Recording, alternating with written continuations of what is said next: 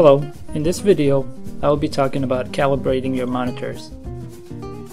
Now if you just you know surf the web and uh, uh, and just do a lot of typing and uh, things that don't involve a lot of uh, pictures or uh, movies then this is probably not going to be that important to you but if you do um, work with uh, pictures and videos you probably would want your monitor to give you the most accurate picture.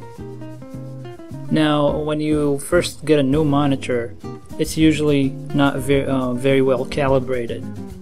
And uh, every monitor is actually um, unique, so they can't calibrate every single monitor. So they just have one um, one calibration, like a um, an average calibration that fits all those monitors, but it's not the best one. Now, um, I found a website that's um, it's a very good website that would help you calibrate your monitor, and it will help you um, calibrate your brightness, your contrast, uh, the clock and phase, and sharpness and gamma of your uh, monitor.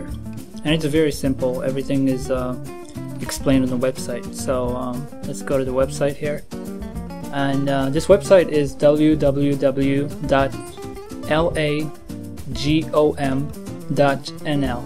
slash lcd dash test. I will put a link uh, in the information.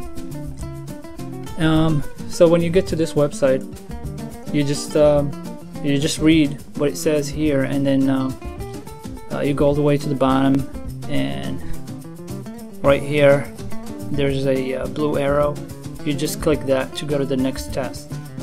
So like in this one, it will help you um, uh, um, calibrate your uh, contrast, make sure uh, the contrast is okay in your monitor, and you can keep moving uh, by either clicking on these images on the top, or there's a, a drop down menu here.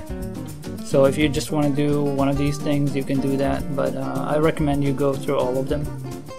Um, and uh, calibrate everything in here. And after you're done with this test, the, Im the images on your on your uh, monitor are going to be uh, a lot accurate, a lot more accurate than they used to be. And make sure your monitor has been on for at least 15 minutes. Uh, just make sure the the bulb is warm, and uh, that's it. Just uh, try it out and see how it works for you. Thanks for watching.